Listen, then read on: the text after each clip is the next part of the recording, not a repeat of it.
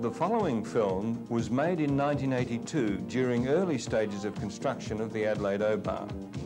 A small section of test track was in use and the film explained some of the planning principles that developed the Adelaide busway.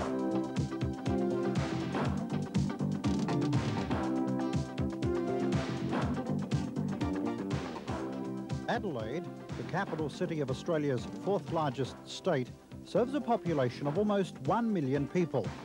Bounded to the west by a sheltered gulf and to the east by a range of low hills, it's typically a linear metropolis. From north to south, suburban Adelaide spreads some 63 kilometres and it's approximately 23 kilometres wide. The central business district is about 1.6 kilometres square and is situated roughly at the midpoint. On this flat plain, Adelaide people enjoy a high standard of living similar to other industrialised Western societies. The climate is typically Mediterranean. Metropolitan Adelaide is serviced for the most part by a modern fleet of 744 buses, comprising mainly Volvos and to a lesser extent MAN and AEC Swift vehicles. A heavy rail system based on a fleet of 160 rail cars services some suburbs, although the rail network is not as fully developed as it is in other major Australian cities.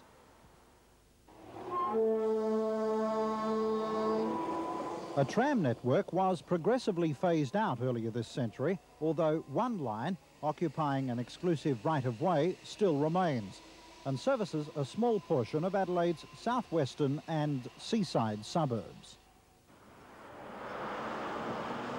Generally, however, the majority of South Australians rely on their cars for personal transport. And while modern traffic management techniques within the existing road network have acted to relieve congestion in many areas, the growth of outer dormitory suburbs has caused increasing problems. To the south, an existing heavy rail transport corridor was upgraded and extended in the 1970s, while a similar heavy rail corridor existed to the north. To the growing northeastern area, however, no developed corridor existed. Traditionally, the expanding northeastern suburbs have been serviced by the bus fleet, which by necessity shared the road network with other users. In the 1970s, with trip times to the northeast extending beyond an hour on many routes, the South Australian government ordered an urgent review of public transport options to serve northeastern suburbs.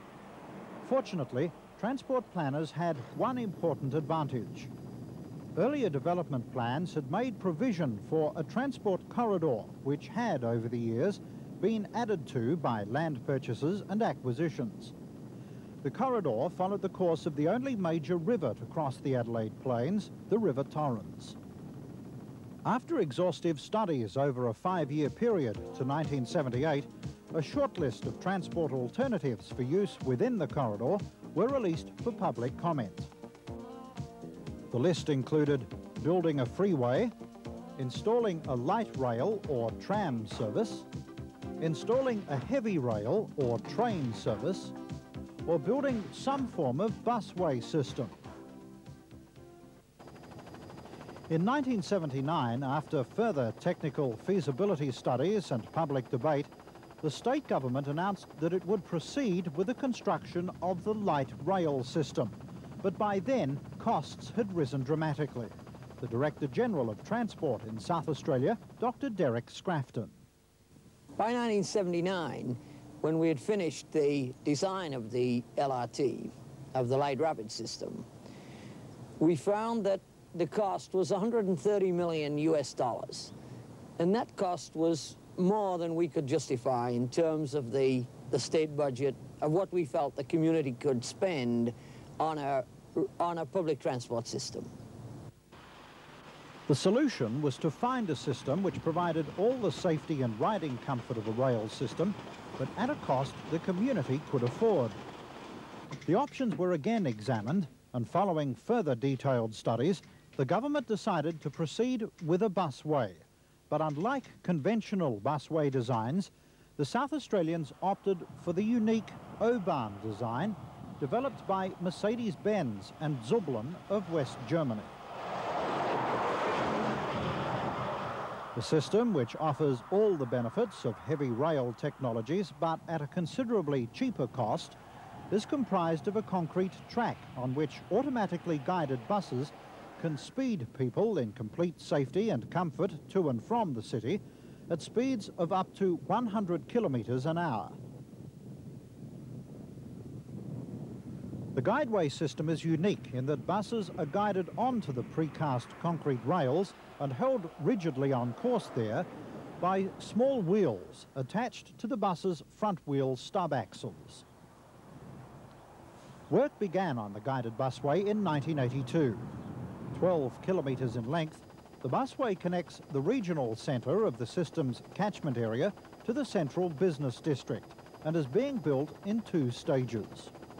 Stage one, the inner or city end, is about seven kilometres long. Stage two, the outer end, is five kilometres long. When completed, the busway will provide a fast grade separated corridor for 12 bus routes which now operate a conventional service on the ordinary road network. Stage one has included the construction of overbridges, pedestrian overpasses, two to four span river bridges, one 59 metre tunnel and the laying of the concrete track. To December 1984, about four kilometres of track had been laid and as work proceeds, this track is being used for testing purposes and in the training of drivers. Construction and earthworks on the remaining three kilometres of stage one is well advanced and includes further overbridges, pedestrian overpasses, river bridges and the construction of two of the three stations to be positioned along the busway's route. One station is to be established roughly at the midpoint to enable some routes to enter the system, while another is being established closer to the city to serve local needs and to connect to a cross-suburban bus route.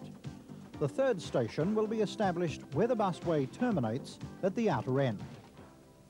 Bus services will be commissioned on the seven kilometres of stage one by the beginning of 1986, while construction of the remaining five kilometres is scheduled for completion in 1988. The track itself is constructed to a high standard with tight tolerances. The L-shaped track elements, some 12 metres in length, are firmly secured to concrete sleepers by metal clips, in a similar way to which railway track is secured. The concrete sleepers, about four metres apart, rest on concrete piers, sunk to a depth determined by soil conditions. For drainage reasons and to reduce overall initial cost and ongoing maintenance charges, the concrete track has been left exposed. A total of 90 Mercedes-Benz buses, 50 of them articulated models, are being built to service the guideway. The new buses include for the first time an anti-lock braking system, 100 kilometre per hour capability and large electronic route destination signs. While each bus comes equipped with a front stub axle guide wheel, no other construction difference separates the guideway buses from regular buses. The dual mode nature of the system allows buses to operate on ordinary roads and streets in the catchment area collecting passengers at curbside stops. On completion of these parts of the route, all buses will enter the busway track at a station and proceed directly to the city centre. Entry to the concrete guideway is simply achieved at speeds of up to 40 kilometres per hour by driving the bus through a tapering funnel length of guide rail. Once the driver has entered the concrete track, the guide wheels hold the bus rigidly on course. The driver takes his hands off the steering wheel and accelerates to an operating maximum speed of 100 kilometres per hour. It's important to note here that safety was of paramount importance to the South Australians and the developers of the system. The system has been subjected to and has passed the toughest safety checks. Fully instrumented test buses have confirmed the highest levels of stability and operational safety at the design speed of 100 kilometres per hour, both under normal and abnormal conditions. Extremes of adjustment of the guide roller, braking systems, shock absorbers and air suspension, plus the simulation of multiple system failures, have all been tested under the most unfavourable conditions without jeopardy to the system. Tyre failure, including blowouts at full speed, plus panic stops under both wet and dry conditions, have demonstrated the system's inherent stability. We've been running buses up and down the, the track for some 15 months. And up to now, we've found nothing at all wrong with the key interface between the track and the vehicle. And everything about the system has lived up to our expectations. The Adelaide guided busway system is being developed at a total cost of about $78 million US. Of that, 18 US million dollars is being spent on the fleet of buses and $3 million US on landscaping the corridor. Under the management of a special project team, the project is being brought in on budget and on schedule. Bus services will be commissioned on stage one by the beginning of 1986, while construction of the remaining five kilometres of busway is scheduled for completion in 1988.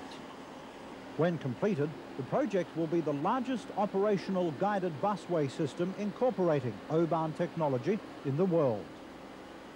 Transport planners or operators considering a similar project are invited to inspect the system and to avail themselves of South Australia's experience in constructing the busway. Contact with the South Australian busway team can be made through Australian Trade Commissions or by writing direct to Northeast Busway Project, State Administration Centre, Victoria Square, Adelaide, 5000, South Australia.